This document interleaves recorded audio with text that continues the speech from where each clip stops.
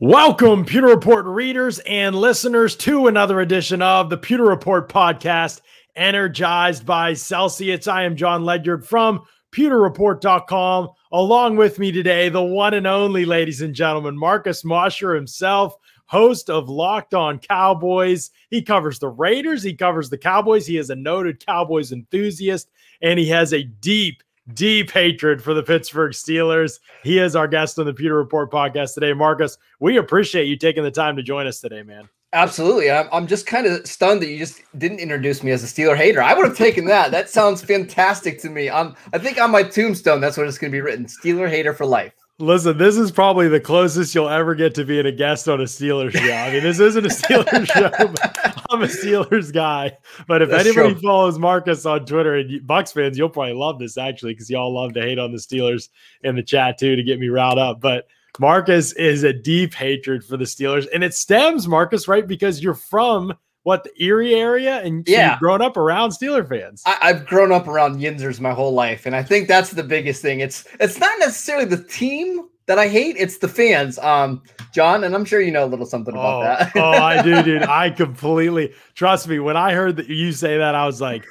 Okay, I actually completely yeah. understand like why why this is the case. Yeah, it's for it's not, the, it's not the team. It's just uh, you, everybody knows a couple obnoxious fans. When you live around 10 million of them, you, you understand. Right. Oh yeah, it is uh man, I'm telling you Steelers fans can definitely be that way and they they do drive me crazy a little bit. I've kind of jokingly said this to Bucs fans, but I really uh, enjoy covering the Bucs in large part because they're not Steelers fans yeah. and they have a different perspective and so uh, I definitely understand what you're saying when you say that. We are excited though. We've got we've got a lot to dive into today, namely week 1, Cowboys mm-hmm. Bucs. We have not had a Cowboys person on, because we've had such kind of a non uh, or a, nonstop slate of guests and other topics to cover. But we haven't really had anybody on to talk about this week one season opening matchup. So we're going to talk about that. Uh, excited to get to that. We'll talk about what might be the two best wide receiver corps in the league between Dallas and uh, Tampa Bay, and how a recent high pedigree website may have been disrespecting those receiving corps a little bit. So we'll talk about that.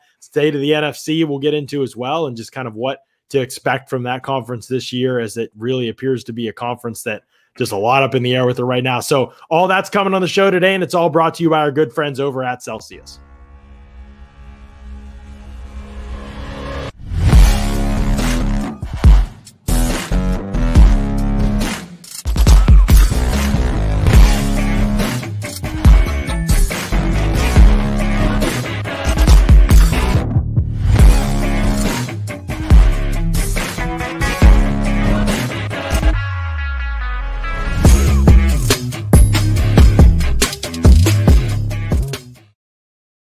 Celsius powers active lives every day with essential functional energy. Sparkling strawberry guava is the drink of choice today. Healthy energy accelerates metabolism, burns body fat.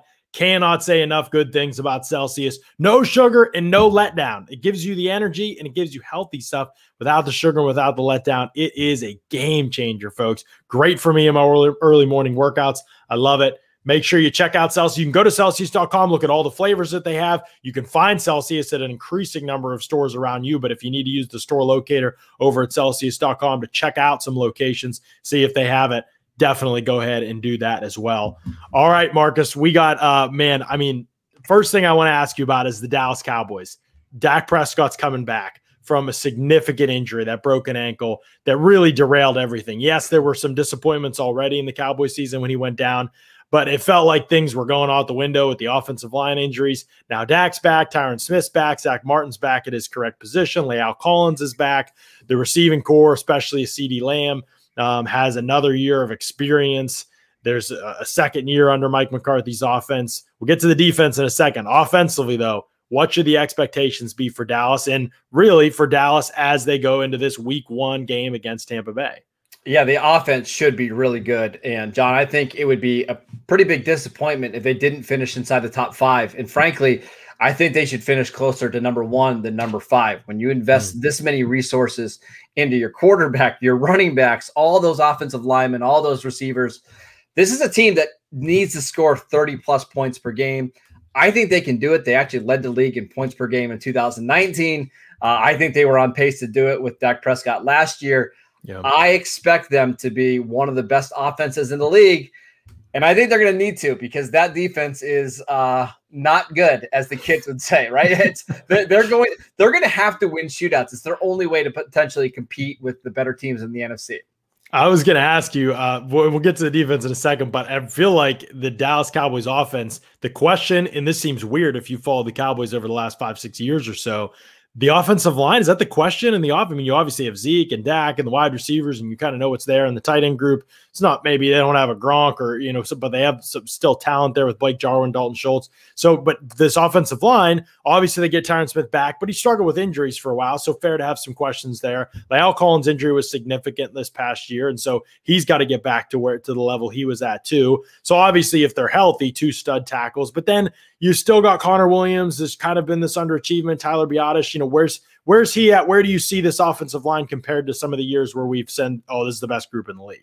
Yeah, I don't think they're at that level anymore, right? I mean, these guys have just gotten older between Martin and between Tyron Smith and all their injuries. They lost Travis Frederick last year due to retirement.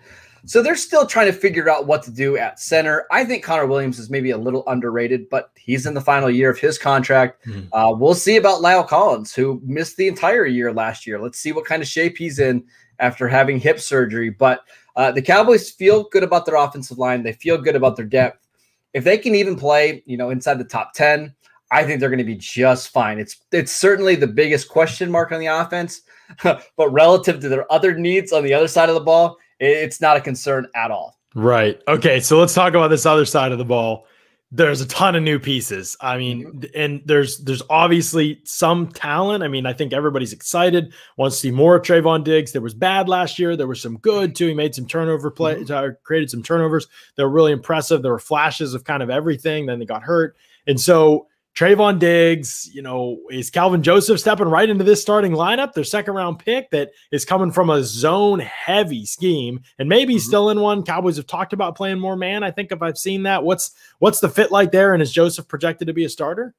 Yeah, the Cowboys are going to lean on Boss Man Fat, his rapper name, uh, right. uh, to, to, to, be a starting corner, and it's going to be quite a jump coming from Kentucky, playing only nine, you know, starting nine career games, but they really don't have many other options on the outside. I think Anthony Brown and Jordan Lewis are going to compete for snap uh, slot snaps. Trevon Diggs on the outside. They need Joseph to play well because there's just not a lot of options. Jon, listen, it, it's it's a bad secondary. They know that it's a very yeah. young secondary. They don't need this unit to be a top 10, top 15 unit to be successful this year. They just need to see improvement and they can't be awful right? If right. they can be even just slightly below average, I think they'll be fine. My concern is if they have any injuries at all, if Trevon Diggs takes a step back, if Kelvin Joseph isn't ready to play, they could be in big, big trouble early in the season.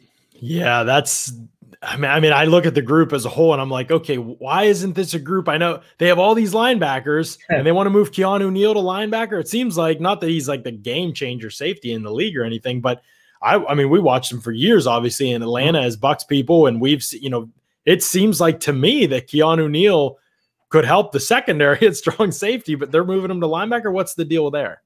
Yeah, so the Cowboys signed Neal with the intention to play him at weak side linebacker, and then they draft Micah Parsons at number 12. Yeah. They draft Jabril Cox, you know, in the fourth round, who I think is probably a weak side linebacker in the NFL. Yeah. Leighton Vander Esch is coming back. Jaylon Smith is coming back. Uh, Dan Quinn has basically talked that they only ever want to play two linebackers. So it seems like you have about two names too many there. I- am really curious to see how it all plays out. I have absolutely no idea how they're going to handle this. And maybe the idea is, Jon, hey, we're going to a 17 game schedule. Linebackers get hurt. Let's just load up on these guys because we can't really trust Vander Esch to stay healthy. We can't really trust Keanu Neal to stay healthy. We'll just, whoever's available, we'll play them and we'll figure it out later. Yeah, it's, it's, a wild situation. I mean, when I saw it, the Neal was like moving the linebacker. I'm like, what about? and then they draft two, and everybody thought Cox was like the steal of the draft. Mm-hmm. You know, they've been saying. So it seems like you're right. Two two names too many. Uh, we'll see what happens. Obviously, we've seen you know uh, uh, before kind of what this defensive scheme has looked like at least in the past and you know you think that if quinn's running is something similar it's going to be again like you think seattle i mean there was kj britt and bobby wagner on the field you didn't really have mm-hmm. a third linebacker on the field that much so it is interesting we'll see what happens i actually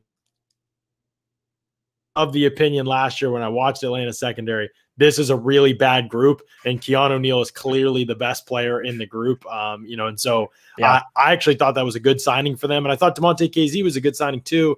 And I guess we'll just kind of have to see how it all unfolds and how they all get on the field. But the, the, they're obviously relying a ton on Demarcus Lawrence. He's got a matchup. Let's as we start to look at this week one specific slate, uh, he's got a matchup where he's, you know, Lawrence plays almost all his snaps at that left defensive end mm-hmm. spot, and Tristan Wirfs obviously at that right tackle spot. That is a heavyweight matchup if there ever was one, isn't it? I think so. I think that might be the best matchup in week one, regardless, because I think yeah. you can make a case right now, Jon, Tristan Wirfs at worst is what a top three right tackle yeah. in the league, top five at worst. And, yeah. At worst, and I think Demarcus Lawrence is one of the most underrated players in the league. Agreed. He can win with power. He can win with a little speed. He's got length. I think that will be really fun. And then on that uh, on the other side, Randy Gregory. Uh, this is his first full off season in his NFL career where he wasn't either preparing for the NFL draft or suspended. And Randy Gregory played really well in the mm-hmm. second half of the season. Donovan Smith is a really good left tackle. I think that the matchup on the edge in this week one battle is going to be absolutely fantastic. And I could not be more excited about it it's probably where the Cowboys need to win if, if they're going to stop mm. Tampa Bay's offense. You would think, you know, that th- there is some talent inside. I mean, obviously they're very hopeful about Trysten Hill and what he can bring to the table. I mean, I think Hill and, and Neville Gallimore, the fact that they didn't really, obviously they bring in Osa Odighizuwa, but they didn't go out and like add a bunch of big names or anything like mm. that to the D line. They clearly they added some role guys, but they clearly still want Gallimore and Hill to be developmental guys. Obviously, they're starting things out going up against one of the best interior offensive lines in the league in Tampa Bay.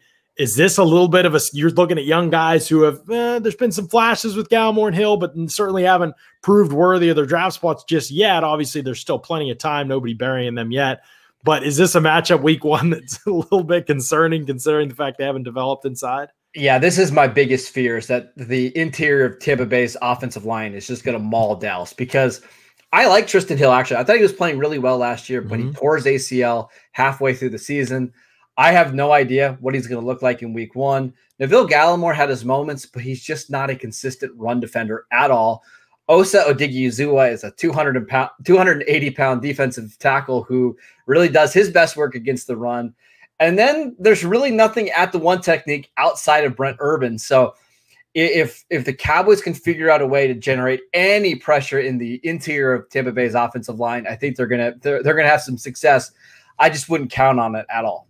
Yeah, it, it is one of those spots where I'm like, man, if, now the good thing is there's two there's good news and bad news. The Bucs don't run the ball that much, yep. and they have not really been this amazing rush team. They've not really needed to be, you know, their its passing scheme and how that's been accomplished every single year. But it's never really been like this dominant rush scheme necessarily. The bad news is probably that they when they run, they run almost all between the tackles, and yeah. that's where the Cowboys kind of have question marks. So yeah, it's uh it's definitely going to be a, one of the matchups to watch. Kevin with a shout out. Pewter Report got the shout out on Pat McAfee show. Did see that today. Uh, there's been some Pewter Report buzz uh, out there. Uh, and so we appreciate all of you for drawing our attention to that. But uh, definitely Bruce Arians on the show yesterday. If you haven't had a chance, go back and listen. Arians had some some uh, great stuff to say just about Bucs roster. Great story about Leonard Fournette, which Fournette himself shared today and, and, and had some comments about, which was cool. Um, but Arians grateful for his time as always, and then his insight too. Go back and listen to yesterday's show if you want to get a, a little bit of a better taste for what that interview was like, but it was really, really good time on the Pewter Report podcast. Talking to Marcus Mosher here today, host of Locked On Cowboys. And Marcus, man, we this matchup in week one has everything I think the NFL really wants. At first, I was a little skeptical. Then I was like, but the only reason I was skeptical was I was like, this Cowboys defense might be so bad still week one that mm-hmm. this game could get out of hand. But then I was like, man, the Cowboys offense, it's loaded. This could be like one of the highest scoring games of the year. And I mean, I know the Bucs defense is good, but it's still a group that gave up some points at times last year. Yeah, I, I still wish this game was later on in the year because I, I just uh, yeah I just worry about Dak Prescott and being rusty, right? Not playing for so long, coming back from that injury. You do wonder if there's going to be a little bit, you know, some hesitancy there. Is he going to be as willing to get outside the pocket and run? I'm not sure. Uh, but with all the weapons the Cowboys have, I think that they will find a mismatch at some point. And Jon, we saw last year the Cowboys can be down 20 points in a game in the second half, and it still doesn't matter, right? They came back yeah. against the Falcons. Uh, they nearly pulled off an impossible game against the Browns. So this one might get ugly early, but that doesn't mean the Cowboys can't come back. They are they are such an explosive offense. They have so many guys that can make plays down the field that I do think this game might be a little closer than most people anticipate. Oh, I I agree with you completely because I don't know, you know, coming out hitting the ground running defensively is not something the teams do every single. We saw last year. I mean, defenses got blitzed out of the yeah. gate, and I know last year was a weird offseason, but I think the league is going to move more and more and more in that direction where defenses are going to have to play catch up and then kind of hit their stride later in the season. Offenses are going to come out slinging it all over the yard. I think it's going to be a really high scoring game. I think it's going to be a blast to watch. I was I'm interested what you said there about wishing it were later in the year because you're right. Cowboys defense really bad last year. This year they added a bunch of players.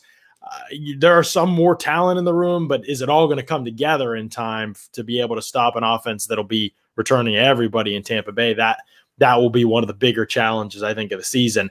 Let's talk about the Cowboys as a whole and then expand this conversation to the NFC. Cowboys obviously down year last year, and it was not really what the expectation level was for them. Injuries contributed really a lot to that, especially with how bad the East was. Good chance they would have won it, even struggling. Um, but they didn't. And now you go into this year, Washington looks improved, especially quarterback um, with Ryan Fitzpatrick. The Giants roster is really good. They're still the big Daniel Jones question mark. Philly looks lost, but Dallas, uh, where do they stack up here? Would you consider them the East favorite? I mean, I think they have to be by default, right? Because they just have the best quarterback, right? And I think yep. you can even make the case they have the best coach in the division. And uh, it's not to say that the Cowboys are a Super Bowl contender, but when you have a top seven, top 10 quarterback, you should win your your division when the next best quarterback is Ryan right. Fitzpatrick by a lot, right? Yes. Like I, I think I think 10 and 7 is very likely. And I don't necessarily think it's going to be all that impressive 10 and 7. They should win five or six of their games in their division. We'll see how they do outside of the division and in the conference. But yeah, I think it would be a pretty major disappointment if the Cowboys didn't win this division by at least a couple games. So what what's a realistic number of wins for Dallas this season? Do you think? I, I think the goal should be eleven or twelve, but I think ten mm. is probably the most likely. Okay, so what ten and seven? 10 and seven. 10 and, seven. seven. Okay, all right. That seems pretty fair to me. I, I could see them getting to eleven too. It really, like you said, somewhat depends on the defense. But if you got to be better in one area, offense or defense, and I'm taking offense for sure. Um, so I think that that bodes well for them at least. And like you said, that division, you have the best quarterback by a lot by in far. that division. That should carry a ton of weight. I think it's a great point by you, and I think that's something that we need to consider when figuring out who's going to win that division. I see a lot of talk for Washington, see some talk for the Giants' improved roster. At the end of the day, I, I like Ryan Fitz. I don't like Daniel Jones. I don't know if that does it quite enough. So NFC wise, uh, we're uh, let's pretend we're in a Aaron Rodgers is on the Green Bay Packers world. Do you think Dallas is kind of like a so they win the East maybe? They're the fourth, or you know, that some seed like that, yeah, and and then there's a hopeful you make noise in the playoffs. Yeah, I mean, I think they're they're pretty clearly a playoff team, but I don't think they're at the level of Tampa Bay, Green mm. Bay, and even I I think the Rams are going to be really good this year. I, I think they're the next tier down, but that doesn't necessarily mean that they can't compete with those teams, right? If they get into a game and they score 30 points and their offense is humming, sure, I could see them mm-hmm. competing mm-hmm. with those guys, but they're just not as talented as Tampa Bay and Green Bay. They're just not as well rounded. I think it's going to take at least a year for Dan Quinn to implement his defense, for them to upgrade that talent. Uh, but again, anything is possible. If Dak can stay healthy, he can play at the level that he did in the first five games last year. I wouldn't be surprised if they're a tough out in the NFC. Right. No, good points. Uh, some questions from the audience. If you guys have any questions, by the way, I see some. I'll get to all of them, and then uh, but if you have other questions in there, just let me know and I'll throw them up here and ask Marcus. Jack wants to know can we ask what the main scheme changes were in the offense from Garrett to McCarthy? So we know some of the, the problems maybe that happened under mm-hmm. Jason Garrett. You can go into those if you want to. Did you see the swings that you needed to see schematically to feel good about Mike McCarthy? Or do you enter this season with a lot of questions, even about the coaching of the offense? No, I actually don't worry about the coaching at all. I mean, oh, the, the scheme didn't necessarily change, but what changed was the play sequencing, right? It wasn't a run on every single first down from mm-hmm. Mike McCarthy like we saw from Jason Garrett. We th- saw them throwing the ball down the field. We saw more play action. We saw more motion than we ever saw under Jason Garrett.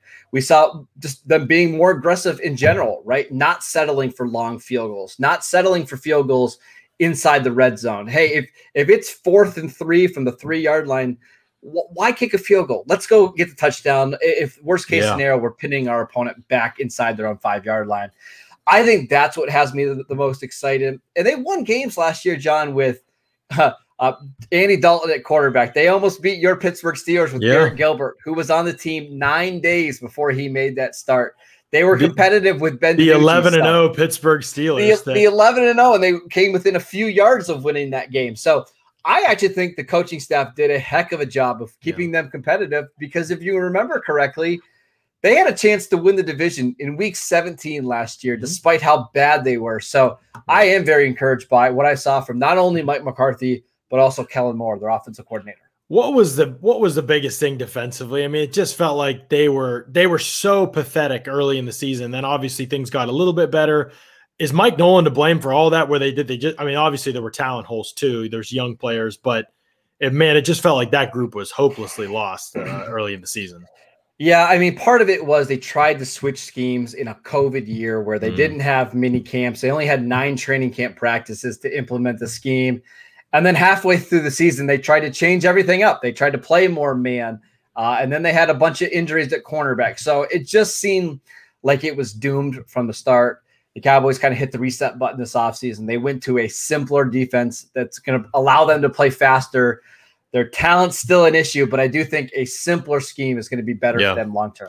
That will be interesting. A, a, lot of respect for Dan Quinn, certainly in NFL circles. I think recently his defense is struggling a little bit, have created some cause for concern. But again, you go to a new place, and we'll just have to see how everything goes uh, there. Obviously, a defense the Bucs are going to be very familiar with, so we'll see if that uh, has a role in Week One.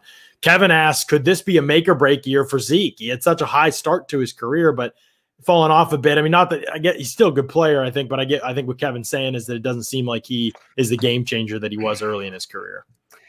That's a tough question because his salary is completely guaranteed over the next two years. So I don't see the Cowboys moving on from him at any point soon. Mm. But is there a chance that maybe they lessen his workload and we see more of Tony Pollard, who played really well last year? I think so. I think the Cowboys are going to a style of offense that I think Tony Pollard just fits better. So if Zeke can't be explosive and can't make plays out of the backfield, yeah, I do think there's a chance that we're not going to ever see the Ezekiel Elliott that gets 350 touches in a season. So if he if he can't stay healthy and if he can't be a little bit more explosive, yeah, I think the Cowboys eventually could move on from him sooner rather than later. Yeah, interesting. I, I hadn't thought that much about it, but I definitely can see your points to that end for sure. Tony wants he's got a just a message for us. The only fan base more delusional than Cowboy fans are Steelers fans. So I just agree. A, just a shot at both of us, Marcus. It is, it's true. Care. Just in general, Cowboys and Steelers fans are the worst. I'm not. I'm not going to disagree with that. We we all always believe that our team is great and that they're going to make the Super Bowl, or at least the casual fan. There. I can't say the same about us. We're yeah. we're we're pretty pessimistic about our team. we, we are probably two of the more critical people about our teams. but it's funny. I think I wouldn't disagree with Tony either. I'm with you. I think that both you know both are pretty delusional, and I think the media because Packer fans are pretty. Close. You could you, know, you could definitely throw Packers yeah. fans in there. Yes, and and the difference is I think Cowboys media does a better job of separating reality and expectations and kind of like setting a realistic world where Steelers mm-hmm. media forget about it, dude. Yeah. They're just whatever the you know, they go, Oh, I thought every you know, as soon as the Steelers win a game, score a touchdown, oh, I thought the Steelers were done, you know, like it's like oh, I thought Najee was a great pick at 24. Uh, yeah. That's probably contributed. That probably contributed yeah, yeah. to your Steelers hatred as much as the fans. To honestly, the way the media uh, yeah, presents I mean, the team. It's it's it's it, we got used to it, right? It is what it is. That's right. It's very true. Yeah. Okay. Uh, Josh Allen wants to know about uh, Ladarius Hamilton. Uh, he is our buck. Obviously, would be a long shot to make the roster, but there's been kind of like a running as I've prefaced having somebody from the Cowboys on mm-hmm. for over a week now. There's been kind of this, oh, you could ask about Ladarius Hamilton, and so it's become kind of a running joke. So, what's the deal, man? Ladarius Hamilton, anything? Uh, does he bring anything to the table?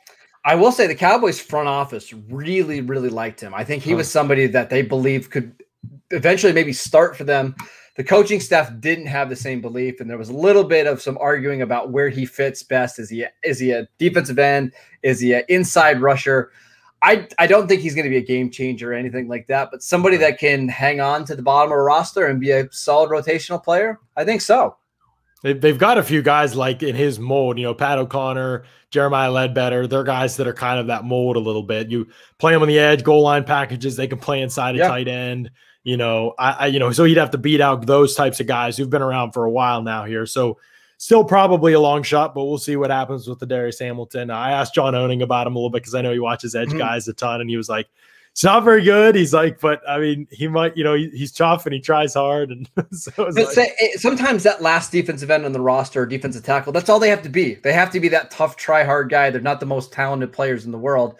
That's sometimes what you just need to do to, to hang on the NFL or on an NFL roster for three, four, five years. Yep. Very good point. Uh, recently, as of today, I think actually, uh, Pro Football Focus, by the way, has had they've had a day. Okay, they've, they've had, had, a they've day. had a day.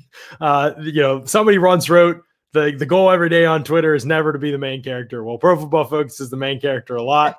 Uh, Anthony Treash is the main character a lot. Um, I don't know him, uh, but uh, I, I, love a lot of the people over Pro Football Focus. Not necessarily a huge fan of their wide receiver rankings that came up that went up today. Top 32 receivers in the league.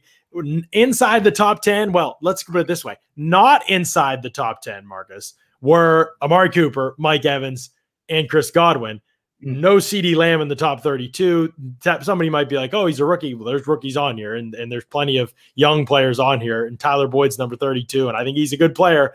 But CeeDee Lamb, Michael yeah, Gallup, I think there's a conversation to be had there. So, your thoughts on the wide receiver corps in Dallas, where it stacks up against the rest of the league, and their exclusion mostly from this list? First and foremost, Mike Evans. I don't know how he's continuing to be this underrated. All the guy does is have thousand yard seasons every year of his career, and yet we still don't call him a top 10 receiver. I, I, I don't get it.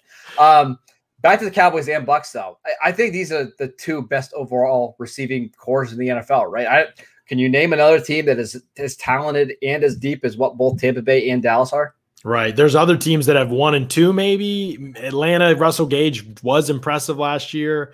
But across three spots like that, well, and even look at Tampa Bay at the end of their roster. Right now, they have got Jaelon Darden and Tyler Johnson, a, a draft Twitter favorite. Mm-hmm. Scotty Miller played pretty well last year. Yeah. Uh, the Cowboys obviously have CeeDee Lamb as their third receiver. They've got Cedric Wilson, who played pretty well in mm-hmm. spot mm-hmm. starts last year. Noah Brown is somebody that a lot of people like. Uh, these are just two really, really deep rosters, but no Cowboys and Bucs inside the the top 10 that's that's tough. I'm going to actually turn this one to you john. Who do you think is the better receiver right now between evans and amari cooper? Amari obviously struggles a little bit with drops but i think he's just such a great route runner. Evans yeah. can make plays down the field. Which one would you rather have Man, this is such a good question. And this will lead us into the biggest cop out response ever. You cannot legitimately rank all these receivers together and, and just leave it. Like, you need the context of usage, right? I mean, obviously, Amari Cooper is is a more uh, he in terms of pure separation. He is going to win you that battle more times than Mike Evans is. In terms of being able to make great catches outside your frame, contested grabs, Mike Evans is going to win that battle. Mm-hmm. After the catch, you know, Mark Cooper is going to win that battle. You know, so it just kind of like really depends what you're looking for. Obviously, Evans is playing in the slot. He played the most snaps he'd ever played in the slot last year. Um, you know, I really value the separation aspect. So I honestly yeah. may go Amari Cooper in those situations, but it really would depend on what you're trying to, what you want to add, right, in your wide receiver room. Like that, I, that I think is a big part. Yeah, I think over the last couple years, I've started to to side with you on that. Like separation matters more than the being able to catch every jump ball or 50-50 ball down yeah. the field. I, I really appreciate how good Evans is at creating big plays. Mm-hmm. But Amari's ability just to win inside in the slot on the outside with his, you know, off the line of scrimmage against press is what I've I've always really appreciated with him. But I don't think you can go wrong with either guy as your number one receiver. Yeah. Yeah, you really can. And one of the things I've learned about Evans from being here and watching him every game it's amazing how good of a route runner he is. Yeah, he probably doesn't get enough credit for that. Yeah, yeah, very, very underrated in that way. And then people always ask me in Tampa Bay, who would you rather have, Chris Godwin or Mike Evans? And that to me is another mm-hmm. really difficult conversation because their usage couldn't be more different. I mean, Godwin plays that Larry Fitzgerald role in this offense. And so he is blocking a lot of the time. He is more of the underneath receiver. He uh, makes plays and he uh, gets the ball in his hands and makes plays. Evans is much more of a vertical threat in this offense. So it's really different usage. You know, I think Chris Godwin could probably do what Mike Evans does easier than Evans could do what mm-hmm. Godwin does. So maybe Godwin's more valuable because of that. But I don't think Godwin could do what Mike Evans does as well as Evans does it. And you could argue that Evans, what Evans does, is the most valuable thing you can do, right? Touchdowns, big plays. That's the most valuable thing you can really get in the passing game, other than maybe a, a, an elite YAC receiver. But well, that's why they fit so well together, right? Is yeah. because Godwin can do a lot of the dirty work. He can make plays after the catch, uh, but he can also move around. He can play in the slot. He can mm-hmm. play in the outside. He can win in the red zone too if you need him to. I mean, we saw that season was 2019 where I think he led the NFL in touchdowns. So I think they're just a, a, a, perfect pairing together there in Tampa Bay. Yeah, they really are. It's been a been a blast to watch them, and I know this matchup in Week One we could legitimately see at this point at that point in time. You know, I think the question Antonio Brown is what he is. Evans Godwin, those guys are kind of established. You mentioned mm-hmm. Scotty, um, but I think you could we could be at the point that next season, if we look at Week Eight, we could look back at Week One and say six of the best 32 receivers in the league were on the field in that week one game. Without a doubt. And I think that's why this matchup is going to be so fascinating because the firepower that these two teams have is just absolutely crazy. Uh, let's just hope both offenses are coming out of the season functioning at 100% capacity because, man, this should be a game where 34, 31, like that would not surprise me at all. Oh, yeah. I mean, it really, it really wouldn't. And that, is re- what the NFL is absolutely banking on and hoping for. They they don't want the Cowboys to have two turnovers and that defense to get no, shelled in the first no. half. That would be kind of uh, their worst nightmare there. So yeah, no, I love it. I think that it's great insights and great points by you there. Let's wrap up with this. Let me, you know, again, uh, I think that the NFC. Eh, let's let me just ask you before I say what I think. You're going to stack the NFC right now. You're picking. You're don't forget about the playoffs or you know who who B two and what the records are, whatever. But right now, like the five teams in the NFC that you feel like are there five that really that you feel like could represent the conference in the Super Bowl? Let's say Aaron Rodgers is on the Packers when Week One comes around. Are there five you think could NFC, represent the NFC in the Super Bowl? How would you stack those five in the NFC? Oh man, see, I, I, don't know. There's five. I think obviously Tampa Bay is one. Green Bay with Rodgers is two. I again, I love the Rams. I think mm-hmm. they are three. And then there's a big drop off. Like, do you trust Seattle in that roster? Because I don't necessarily think so. I, Dallas has too big of holes on defense. Will the 49ers, with a rookie quarterback, be able to win big playoff games? I have my doubts. Mm-hmm. And then after that, we're talking about a lot of teams that I think are probably a year or two away. So I really think right now the NFC is the top three, and then there's a pretty big gap between the next teams. I got to ask you this too. I've just realized this, but obviously, for people who don't know, Marcus is the managing editor of Raiders Wire, so he does a lot of he, he's he's oh, both your man. boy Jon Gruden, and so what's going on, man? Is Gruden Mayock is is that relationship about to come to an end? Give us the scoop here. It, I don't think that part is going to come to an end anytime soon. Now, I think there's some big disagreements between Jon Gruden, Mike Mayock, and the rest of the scouting staff. Mm-hmm. Between uh, Reggie's old guys, Reggie McKenzie's old scouts are still there. They have this old way of doing things. Mayock has his own way of doing things, and then Gruden just comes in there and picks whoever he wants. So I think Mayock and Gruden are fine. I don't know about the rest of the front office. That seems like it's a, a disaster waiting to happen. It's already happened, so I guess I can't even say that. I appreciate that honesty. No, I mean you're going to need the Cowboys to stay healthy this season and produce in the NFCs to save you from the whatever the, is going on with the Raiders this I, well, year. I, I, just want to say last year could not have been a worse year. The Cowboys lost their quarterback in Week Five. The Steelers went 11 and 0 to start the season, and the Raiders were the Raiders. So hey, at least the Steelers went out in embarrassing fashion. in the playoffs. It did, it did make it a little bit better. That made the whole year worth it for sure. Marcus Mosher, ladies and gentlemen, managing editor at Raiders Wire, host of Locked On Cowboys, Locked On Dynasty. You do writing for bookies and for Game Day NFL. I see you on there on the Clips Game Day NFL. And were you talking NBA in the Clips the other day? Oh, of course. We got the NBA playing games. We got the playoffs coming up. Just we've got to cover the basketball. It's, I love really it. fun. I love it. He is wearing many hats and he's wearing all of them well. Uh, we've known each other for a long time, but just on social media, I don't. We've never even met at an actual like event like the combine no, or senior bowl. That's going to change so. this year. It's going to change. That's senior. Oh, good. so you're getting out that you're going to be oh, out there. Yeah. Oh, we got, good. We got okay. to. Great. I'm looking forward to meeting you in person, but really appreciate you taking some time out of your busy schedule uh, to give us a great show today. Of course. Thank you so much for having me on. I appreciate it. Absolutely.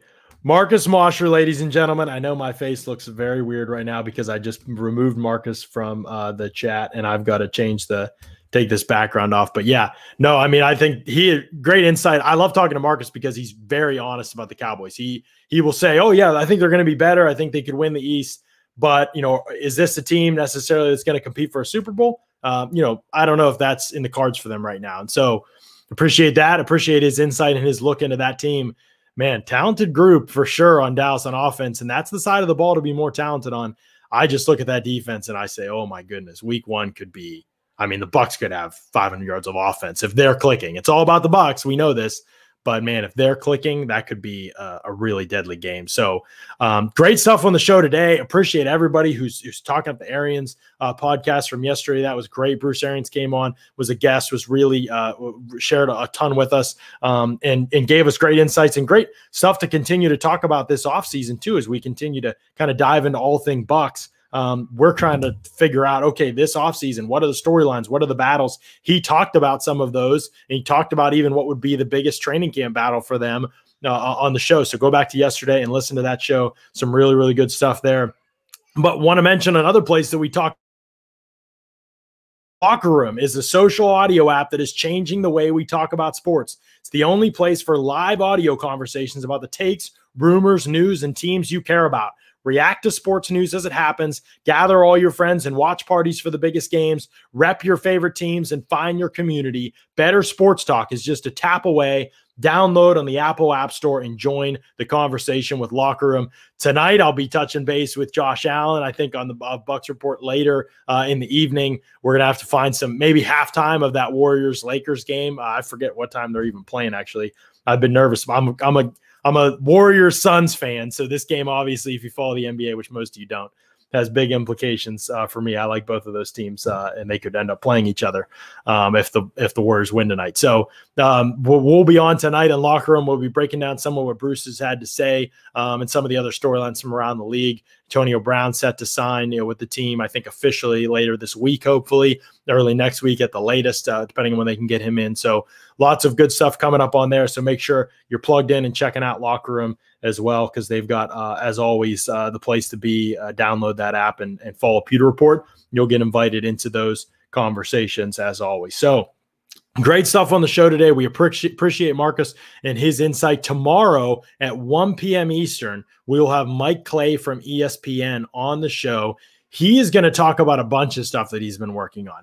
Number one, Bucs have the best strength of schedule in the league. We're going to ask him how he gets how he gets to that point. How does he create that metric that tells him Bucs have best strength of schedule in the league? Because he's not going off last year's records. His way is much more complicated, much more much different. Um, so we're going to ask him about that, his process to getting to the, why the Bucs have the best strength of schedule in the league. He believes the Bucs are repeating as Super Bowl champions. So we're going to ask him extensively about that, what he sees in the Bucs roster, and then he recently just dropped his projections for production for the year for Bucs players chat over to his Twitter, Mike Clay's Twitter, if you haven't seen it. Uh, and I retweeted earlier today and shared it.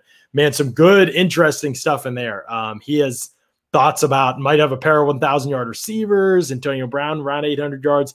I think his projections were really close to accurate last season. Um, the OJ Howard injury threw a wrench in things a little bit, but he was pretty close to being on the money. So uh, worth checking out his projections at at production for uh, the Bucs for this season. But he's going to be a guest on the show 1 p.m. Eastern tomorrow. So I know I'm sorry about that. I'm trying to make it work for Mike. I really want to have him on the show. He's excited. He loves our stuff, and he, he's excited to come on and give you some of his time. I know that time, the live time, doesn't necessarily work for everybody. So I do apologize for that. We'll be back on the four o'clock schedule next week. I know that messes with people too, but we appreciate everybody who re-watches and shares the podcast afterward. Um, because I think that's going to be um, going to be a blast too. Oh, some of you do watch the NBA. I'm sorry, I didn't mean to slander anybody. I I've been told that people in Tampa Bay don't aren't there's not an NBA there's not hardly any NBA fans around Tampa Bay. So maybe I'm wrong. I know all you don't live in Tampa Bay, so that might be a part of it. Charlie Abrams says he's right outside uh right outside Oakland. Loves the Warriors. So nice. Love it, Charlie. Let's go.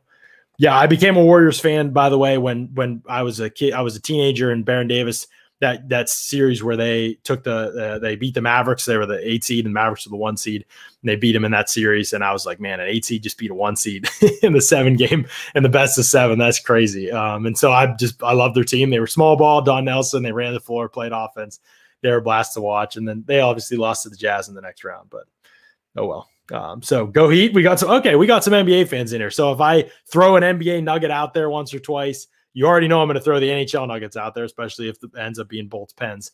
Uh, you'll get a little bit of that um, too as we move forward. So good wins last night for the Bolts and the Pens. Britt and I were, my wife and I were very happy. We watch. We always watch both games, and so it's been a lot of fun. So all right, well tomorrow we'll be back on the podcast 1 p.m. Eastern. We'll have a lot to say. Appreciate everybody uh, shouting us out, and uh, Pat McAfee show shouted us out today. Um, I believe uh, Pro Football Talk shouted us out today. Obviously, Ian Rapoport on Twitter. Appreciate all of them. I know they're probably not going to watch this, but um, appreciate all them uh, being able to just give them credit where credit's due. That not something that always happens in the field. And appreciate Bruce Arians obviously for his time. Uh, Scott will be back on this podcast. He wanted me to tell you all he is sick. He is going through it right now. He does not have much of a voice. Uh, it's not COVID related for anybody who's wondering. It's not COVID related, uh, but he is sick. He is getting better though. He's on the mend, feeling a little bit better today, but not much of a voice at all. But hopefully by the time Monday comes back around, he will be back on the show. But until then, we'll just keep crushing it with guests. And we appreciate all of you for tuning in to another edition of the Pewter Report podcast. Out.